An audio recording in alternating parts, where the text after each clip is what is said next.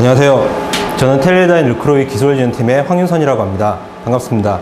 오늘 제가 말씀드릴 내용은 오실로스코프를 이용한 eye diagram, 쉬운 eye diagram 측정입니다. eye diagram은 serial 데이터를 분석함에 있어서 엔지니어 분들께서 가장 편리하게 신호 품질을 판별할 수 있는 그런 방법입니다. 하지만 쉬운 방법임에도 불구하고 오실로스코프의 복잡한 설정 때문에 아이 다이어그램을 그릴 때 많은 어려움을 겪으셨던 것 또한 사실입니다. 그래서 오늘 세미나를 통해서 엔지니어 여러분들께서 아이 다이어그램을 측정하실 때 많은 도움이 되셨으면 합니다. 먼저 오늘 제가 사용할 장비와 신호에 대해서 설명을 드리겠습니다. 먼저 오실로스코프를 설명드리겠습니다. 저희 텔레다인 루크로이에서 나온 램 마스터 시리즈의 45GHz 밴드위스를 가지고 있는 장비입니다. 그리고 오실로스코프 내부에 들어있는 소프트웨어는 SDA3라는 소프트웨어로서 지금 현재 보시는 바와 같이 eye diagram이 4개가 보이고 있습니다. 즉, 이 프로그램은 실시간으로 eye diagram을 4개를 동시에 그릴 수 있을 뿐만 아니라 동시에 jitter 분석 또한 4개의 serial 데이터를 동시에 jitter 분석까지 병행할 수 있는 그런 powerful한 tool입니다. 이런 powerful한 tool을 구현하기 위해서 이런 LabMaster 시리즈에서는 2.8GHz의 CPU를 24개를 사용하고 있어서 이러한 복잡한 분석임에도 불구하고 빠르게 분석을 하실 수 있습니다. 그 다음으로는 아래쪽에 있는 저희 PeRT 장비입니다. 이 PeRT 장비는 원래는 BER 테스트를 위한 장비입니다. 하지만 오늘의 세미나를 위해서는 실제 신호를 발생하는 오늘은 6기가 BPS의 신호 발생기로서 사용할 예정입니다. 그리고 이쪽 아래에 보시면은 실제 여러분들이 사용하고 계시는 그래픽 카드에 나오는 PCI Express Gen2 신호를 사용해서 실제 나오고 있는 신호를 가지고 eye를 그려보도록 하겠습니다.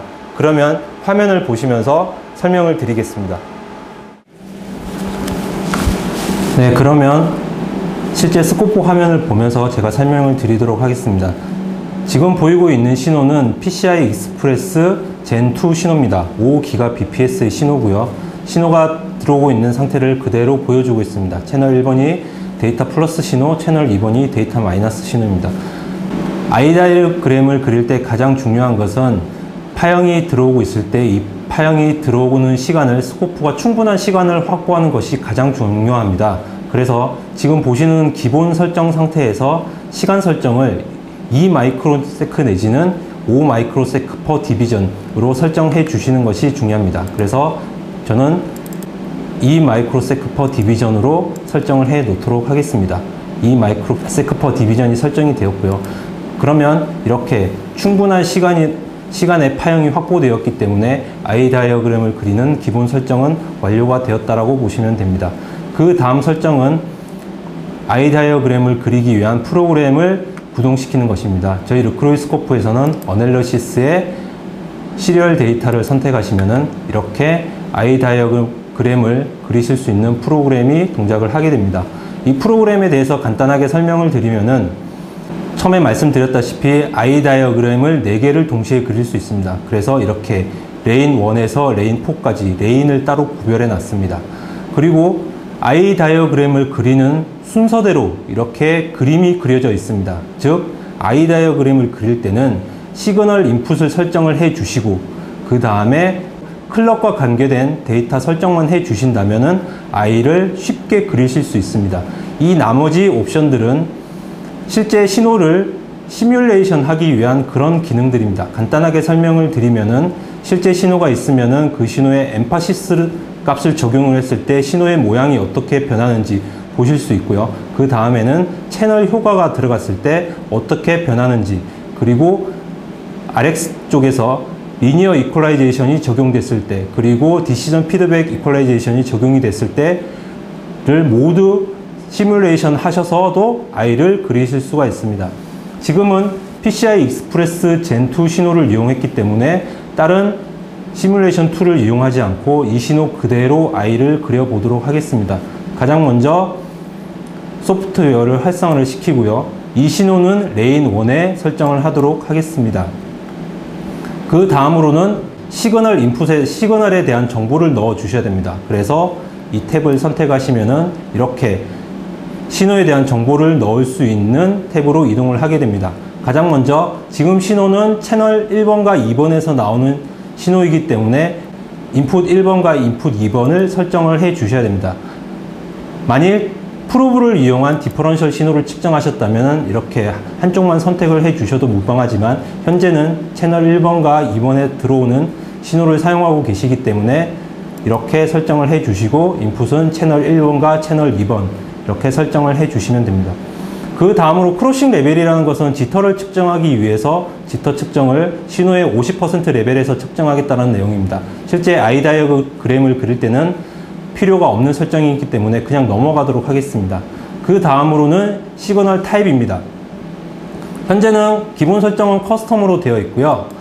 이렇게 LeCroy scope에서는 다양한 보시는 바와 같이 이더넷 신호에서부터 DVI 신호, HDMI 신호 이런 다양한 신호들의 시그널 형태 즉 신호의 clock 주파수와 데이터 속도를 제공하고 있습니다. 이 가운데 오늘 제가 사용할 내용인 PCI Express Gen2 신호를 설정을 해 주시면 됩니다.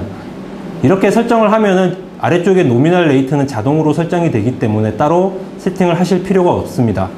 그 다음으로 노이즈 세팅이라는 부분은 이전에 저희 SDA2를 사용하셨던 고객은 표시가 되지 않는 부분이고요. 현재 SDA3를 사용하시는 고객이라면 이 부분은 jitter 분석이 아닌 노이즈 분석을 하기 위한 설정이므로 사용하시지 않으셔도 됩니다. 시그널 형태까지 설정을 하셨다면 그 다음엔 clock recovery에 관한 내용입니다. 시그널 인풋에서 PCI 익스프레스 젠2라는 사실을 입력을 해 주셨기 때문에 자동으로 데이터 속도가 5GBps라는 사실을 입력을 해 주게 되어 있습니다. 그 다음으로는 reference clock이라는 부분인데 실제 reference clock이 있을 경우에는 같이 사용하시면 되지만 현재는 데이터에서 clock을 추출해내는 그런 신호이기 때문에 따로 설정을 해 주실 필요는 없습니다. 그 다음으로는 PLL setup입니다. 많은 고객분들께서 eye diagram을 그리실 때 가장 헷갈려 하시는 부분 잘, 설정이 잘못되었을 때 eye diagram을 그릴 때 가장 실패하는 부분이 이 부분 세팅입니다. 간단하게 지금은 PCI Express Gen2라는 신호를 사용하기 때문에 PLL 동작을 시킨 다음에 PLL type에서 PCI Express Gen2라는 이런 설정되어 있는 PLL 값을 이용하시면 편안하게 바로 옆에 pole 값과 natural frequency damping factor가 표시가 되게 됩니다. 이 값들을 이용하신다면은 이제 PLL 세팅을 따로 하실 필요 없이 바로 eye를 쉽게 그리실 수가 있습니다. 이까지 세팅이 끝나셨다면 실제 eye를 그리, 그리는 데 있어서 필요한 모든 세팅은 끝나신 겁니다. 그래서 이 옆에 eye 탭을 선택을 하시고 eye measure를 enable 하신 다음에 show eye를 선택하신다면 이렇게 eye가 바로 그려집니다. 좀 더 보기 편하게 하시기 위해서 디스플레이 모드를 그리드 설정을 좀 바꿔 놓도록 하겠습니다. 그리드를 이렇게 바꿔놓고 보시게 되면은 이렇게 eye diagram이 그려지는 것을 보실 수가 있습니다. PCI Express Gen2 신호의 경우에는 이렇게 마스크가 있는 신호입니다. 그래서 마스크가 있는 신호에는 이렇게 마스크 타입의 여러 종류의 PCI Express Gen2 신호와 관계된 마스크가 있고요. 지금 이 신호는 add-in 카드의 TX non transition 3.5dB 신호이기 때문에 이 마스크를 선택을 해서 쇼 마스크를 선택하신다면 이렇게 마스크가 포함되어 있는 이런 아이 다이어그램을 보실 수가 있고 마스크 히팅이 일어나는지 그런 분석도 편리하게 진행을 하실 수가 있습니다. 아이 다이어그램의 매적 값들을 보시기 위해서는 이 옆에 아이 파라메터를 선택하시면은 eye의 높이, one eye level이라든지 이런 parameter 값들을 쉽게 설정하실 수가 있습니다. 그리고 지금 현재 보시는 이 다이, eye diagram에서 이 eye diagram의 크기를 변경하시고 싶으실 때는 이렇게 eye diagram의 스케일을 변경하시게 되면 이 스케일에 맞게 eye diagram이 그려지는 것 또한 확인하실 수가 있습니다. 그리고 지금 eye diagram 모드가 single eye 모드로 되어 있는데요. 얘를 dual eye transition, non transition 모드로 바, 변경을 해 주시게 되면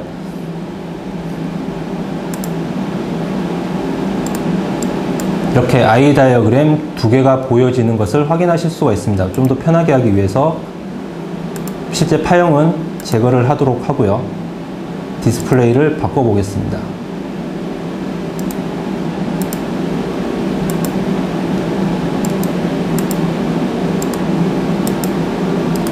네, 이렇게 보시면은 아이 다이어그램 두 종류의 아이 다이어그램을 그려서 쉽게 분석을 진행하셨습니다.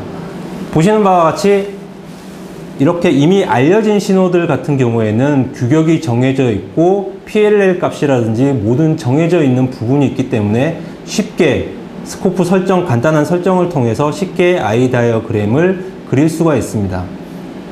이 다음으로는 알려지지 않은 랜덤한 신호를 가지고 보여드리겠습니다. 이 랜덤한 신호는 PRBS7 형태의 신호고 전에 보여드렸다시피 저희 퍼트 장비에서 나오는 신호를 가지고 이용하겠습니다. 그러면 다시 기본 설정으로 들어가겠습니다.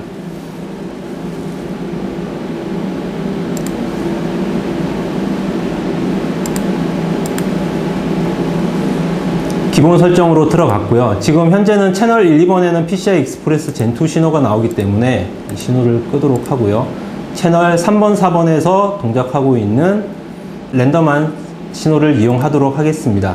채널 3번과 채널 4번을 키도록 하겠습니다. 네, 기본 설정 상태에서 채널 3번, 4번으로 PRBS 7 신호가 들어오도록 되어 있습니다. 이 신호도 마찬가지로 가장 중요한 부분은 시간, 어, time scale을 어, 2 microsec로 맞춰 보도록 하겠습니다. 그래서 time scale에서 division당 2 microsec로 설정을 해 놓도록 하고요. 이렇게 되시면은 좀 전에 했던 PCI Express와 마찬가지로 time base 설정은 완료가 됐고 그리고 소프트웨어를 구동을 시키도록 하겠습니다. 잘 구동을 시켰고요. enable 하고 PCI Express는 lane 1에서 했기 때문에 이번에는 lane 2에서 진행을 하도록 하겠습니다. lane 2를 활성화를 해주고요. 다음에 신호는 채널 3번, 4번에서 들어오는 신호를 이용을 하겠습니다. 채널 3번, 4번에서 이용을 들어오는 신호를 이용을 하고 crossing level은 설정하실 필요 없습니다. signal type은 현재 알려지지 않은 non standard 신호기 때문에 custom으로 설정을 해 주시면 됩니다. 그 다음에 clock 설정입니다. clock 설정에서 중요한 부분은 PCI Express처럼 알려진 신호는 signal type을 설정하면은 데이터 속도가 결정되었지만 이 신호들 같은 경우에 데이터 속도를 알고 계시면은 직접 값을 입력해 주셔도 되지만 이 소프트웨어에서 find bit rate를 설정 선택을 하시게 되면 이 소프트웨어가 실제 이 신호를 분석을 해서 이 신호의 bit rate 값을 적용을 하게 됩니다. 그리고 아래쪽에 있는 find rate every sweep은 파형이 들어올 때마다 bit rate를 찾아주는 그런 과정이고요. 굳이 여러 번 하실 필요가 없기 때문에 체크는 해제하도록 하겠습니다. 그 다음으로는 이 신호도 마찬가지로 reference clock이 없기 때문에 설정을 하지 않겠습니다. 그 다음으로는 PLL setup입니다. 일반적으로 알려지지 않은 그런 신호들은 PLL 셋업을 선택하시면은 golden PLL이 적용이 되어 있습니다. 그리고 이 옆에 값이 설정이 되어 있고요. 이 PLL에서 또 중요한 부분은 혹시 이렇게 설정을 했음에도 불구하고 데이터 속도를 맞춰 놨음에도 불구하고 PLL, golden PLL을 사용했는데도 eye diagram을 설정을 하셨을 때 문제가 있다면은 그 신호는 spread spectrum clock이 적용되어 있는 신호인지는 반드시 한번 확인해 보시기 바랍니다. 그럴 경우에는 PLL 형태를 custom으로 맞춰 주셔서 pole의 개수와 pole의 개수와 natural frequency damping factor를 꼭 설정을 해 주셔야 정확한 eye를 그리실 수가 있습니다. 현재 이 신호는 generator에서 나오는 신호기 때문에 굳이 PLL 설정을 하지 않으시더라도 eye를 그리는데 문제가 없고요. 하지만 이번 세미나에서는 golden PLL을 적용을 해서 eye를 그려보도록 하겠습니다. 좀 전과 마찬가지로 signal이 들어있는 채널에 대한 정보와 데이터의 bit rate 그리고 PLL 값만 설정을 하셨다면 마찬가지로 eye도 쉽게 그려집니다. show eye를 선택하시면은 eye가 이렇게 그려집니다. 디스플레이 설정을 바꿔놓도록 하겠습니다. 이렇게 쉽게 eye가 그려지는 것을 확인하실 수가 있습니다. 기존에 어렵게 그려, 그리셨던 방법에 비해서는 버튼 몇 번만으로 편리하게 분석을 하실 수가 있고요. eye를 다시 선택을 하시면은 아까 보여드렸던 single eye와 transition eye를 구별하실 수가 있고요. 이렇게 eye 사이즈를 변경하실 수도 있고 i 파라메터에 대한 값들을 변경하실 수도 있습니다. 여기서 다시 이렇게 이런 데이터 신호들을 이용하셔서 i 다이어그램을 그리셨다면 그 다음에는 대부분 엔지니어들께서는 지터 분석을 하고 싶어 하십니다. 지터 분석을 하실 때도 기존에는 뭐 복잡한 설정 때문에 지터 분석에 버튼조차도 클릭을 못 하셨던 분들이 계신다면 어렵게 생각하시지 마시고요. 저처럼 단순히 아이 다이어그램을 그렸다면은 지터 탭을 선택하셔서 enable만 시킨다면은 이렇게 쉽게 total jitter와 random jitter, DJ까지 한 번에 표시를 해주게 됩니다. 특정 신호에서 jitter를 jitter 분석을 하실 때 가장 중요한 것은 이 어, 반복적인 패턴을 꼭 한 화면에 표시가 되어야 됩니다. 즉 지금 현재 보고 계시는 2 microsec per division 즉 전체 20 microsec 동안 반복되는 패턴이 꼭 나와야 jitter 분석을 하실 수가 있습니다. 하지만 정말 random한 신호가 길게 표시가 된다면 그 신호가 scope에서 한 화면에 표시가 되지 않는다면은 pattern analysis라는 탭에서 repeating pattern이 없다라는 것을 체크를 해제를 해 주시면은 또 지터 분석을 하실 수가 있습니다. 지금은 PRBS7 반복되는 패턴이 20 마이크로세크 이내에 존재를 하기 때문에 제가 이 부분을 체크를 해 놨습니다. 그 다음으로는 이 다음에 있는 탭들은 이런 지터 값, 지터 값들을 추출해 내기 위한 그런 그래프들입니다. 지터 트랙을 이용하셔서 PLL 트랙을 보실 수도 있고요. 보시기 편하게 하기 위해서 채널 정보는 삭제를 그리드에서 지우도록 하겠습니다. 이렇게 보시면은 지금 현재 PLL 값들을 트랙을 트랙이 되고 있는 이런 값들을 표시를 해 주고요. 스펙트럼 분석에서도 RJ, BUJ 스펙트럼을 이용하셔서 피크를 동시에 보실 수가 있습니다. 그리고 더 히스토그램을 이용해서 bathtub와 CDF를 동시에 보실 수도 있습니다. 이렇게 동시에 보실 수도 있고요. 그 다음으로는 jitter parameter를 이용해서 periodic jitter, ISI 값, DDJ 값 이런 값들을 쉽게 찾아내실 수 있습니다. 그 다음으로는 dual Dirac model이라는 부분이 있습니다. jitter를 분석하실 때 여기 나와 있는 random jitter는 실제 scope에서 측정한 값이 아니라 random jitter는 10의 12승 비트가 되었을 때 jitter 성분을 예측을 한 그런 부분입니다. 예, 이런 random jitter를 예측을 하기 위한 그런 방법으로 스펙트럴 RJ 다이렉트를 포함한 이런 세 가지 방법이 있는데요.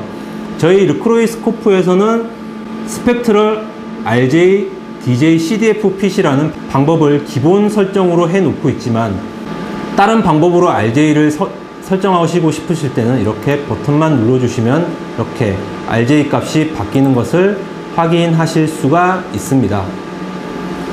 보시는 바와 같이 어떤 랜덤한 신호가 있더라도 아이다이어그램을 그리는 데 있어서는 크게 어려움이 없습니다. 스코프에서 데이터 속도와 PLL 값을 넣어 주시게 되면 쉽게 이렇게 eye diagram을 그릴 수가 있게 되고요. 이 다음으로는 이 SDA3 옵션의 특징인 eye diagram 동시에 그리는 방법에 대해서 잠깐 보여드리도록 하겠습니다.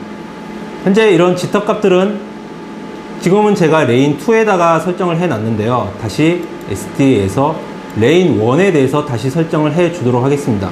lane 1을 체크하는 순간 이렇게 Lane, LaneScape와 구별이 되게 되어 있습니다. 지금은 현재 lane 1에 기존에 설정했던 값들이 바뀌었, 제가 다시 디폴트 설정에 의해서 값들이 바뀌었기 때문에 eye diagram이 그려지진 않고요. 다시 빠르게 설정을 해 보도록 하겠습니다. signal에서는 채널 1번과 2번 그리고 시그널 타입은 PCI 익스프레스 젠2 젠2 신호고요. 그리고 clock은 맞췄고 아까 설정하셨던 그대로. 그리고 eye diagram은 자동으로 설정이 되어 있기 때문에 이렇게 보시는 바와 같이 동시에 eye를 그리게 되고 jitter 분석 또한 진행을 하고 있습니다.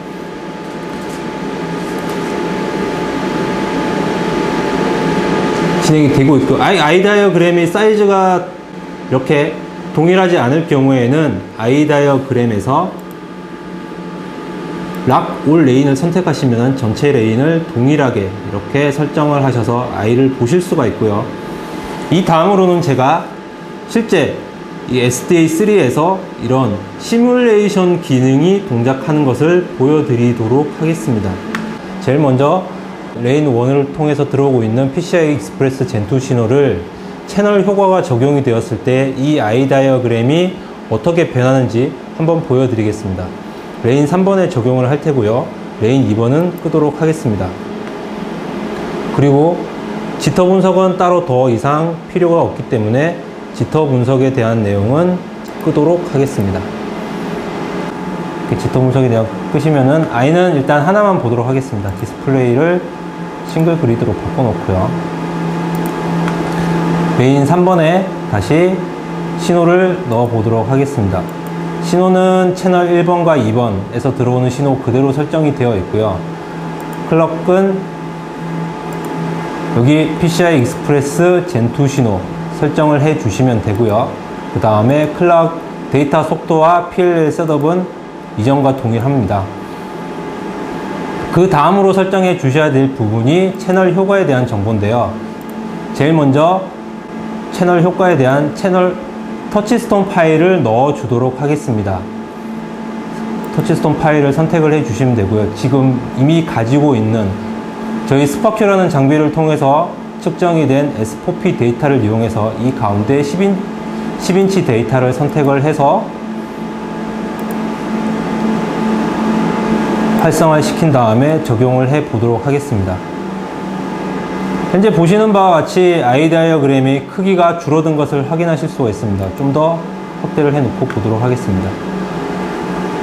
원 신호는 이렇게 eye diagram이 그려지지만 10인치 케이블을 통과한 신호의 eye diagram은 이렇게 품질이 변하는 것을 확인하실 수가 있고요.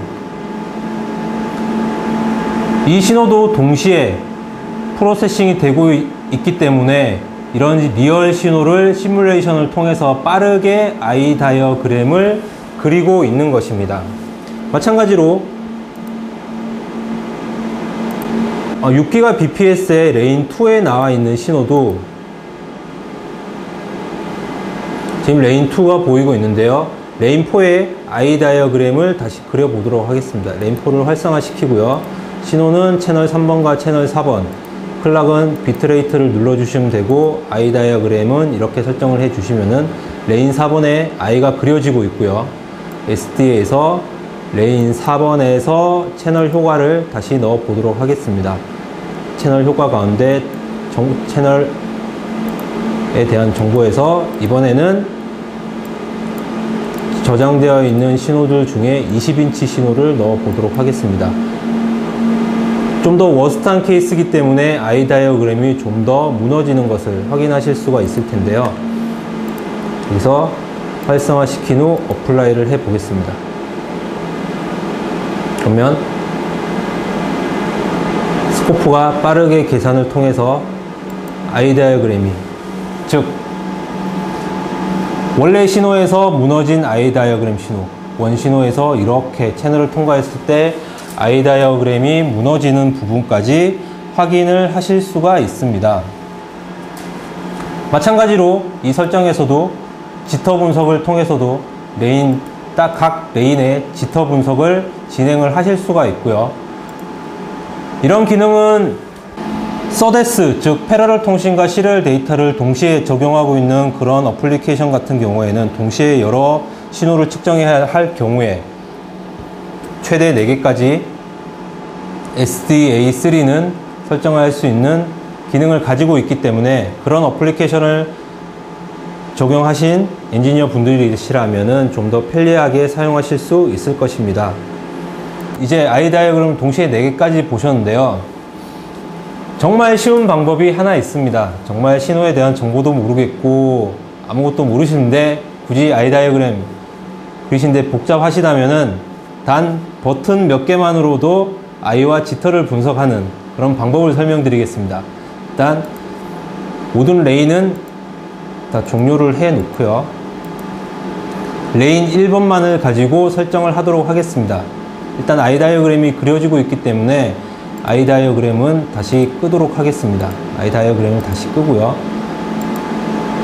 네.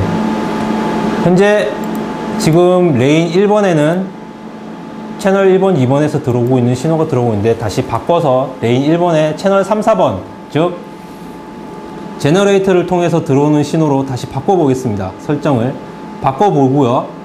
그리고 eye diagram을 버튼 몇 개로 그리는 방법을 보여드리겠습니다. 여기 SDA enable 활성화 아래쪽에 보시면은 quick view라는 게 있습니다. quick view를 선택을 하신다면은 어떤 채널 소스만을 입력을 해 주시고 입력을 넣어 보겠습니다. 채널 3번과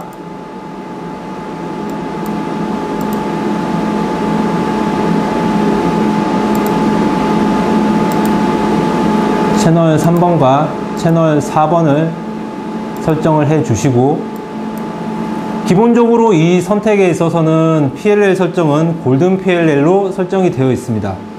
유의하실 점은 골든 PLL로 설정이 되어 있기 때문에 스프레드 스펙트럼 클럭이 되어 있는 신호는 아이가 무너지는 경우가 발생한다는 사실을 알고 계시면 되고요.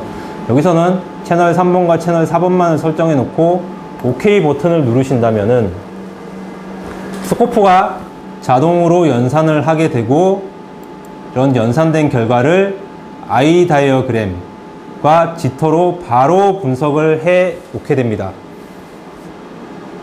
편하신가요? 기본적으로 아이 다이어그램을 측정하는 데 있어서 많은 부분을 내가 필요한 부분만을 설정해 놓으신다면은 아까 제가 보여드렸던 방법을 설정하신다면은 금방 하시고요. 아니면은 정말 도저히 아이 다이어그램에 대해서 도저히 모르겠다. 그래도 그래, 그려봐야 되겠다라고 생각하시는 엔지니어 여러분들께서는 저희 소프트웨어에서 enable을 하신 다음에 lane과 quick view를 선택하신 다음에 quick view에서 단순히 채널 정보만 넣어주시면은 이렇게 eye diagram을 그릴 수가 있습니다. 제가 좀 전에는 lane 2번에 채널 3, 4번을 설정했는데 lane 2번을 바꿔볼게요. quick view에 lane 2번을 채널 1번과 채널 2번을 설정해 놓고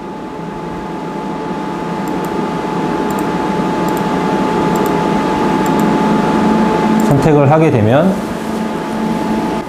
이렇게 빠른 scope 내부 연산을 통해서 lane 1번에는 채널 3, 4번에서 들어오고 있는 6기가 bps 신호의 eye가 그려지고요. lane 2번에서는 채널 1, 2번을 통해서 들어오고 있는 PCI Express Gen2 신호를 동시에 이렇게 보실 수가 있습니다. 여러분들께서 아이 다이어그램 설정에 있어서 정말 어려움을 겪으셨다면은 이런 복잡한 설정 필요 없이 단순히 퀵뷰를 통해서 채널 값만 넣어 주셔서 OK를 누르신다면 이런 정말 편리한 기능을 통해서 eye diagram 분석을 진행하실 수 있을 것입니다.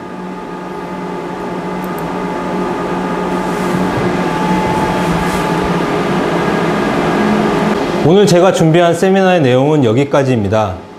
다시 한번 말씀드리면은 PCI Express, 즉 standard 신호의 eye를 그리는 방법, 그리고 generator를 통해서 나오는 PRBS7, 즉 알려지지 않은 non-standard serial 데이터를 데이터에 대해서 eye를 그리는 방법과 그 두 신호에 대해서 jitter 분석하는 방법, 그리고 정말 eye 분석이 힘드실 때 quick view를 이용하셔서 단순히 신호가 들어오고 있는 채널에 대한 정보만을 넣어 주셔서 eye를 그리는 방법까지 설명을 드렸습니다. 아무쪼록 제가 오늘 준비한 내용이 시리얼 데이터를 통해서 아이 다이어그램을 분석하시는 많은 엔지니어 분들께 도움이 되셨기를 바라며 다음에 좀 더 좋은 주제로 찾아뵙도록 하겠습니다. 감사합니다.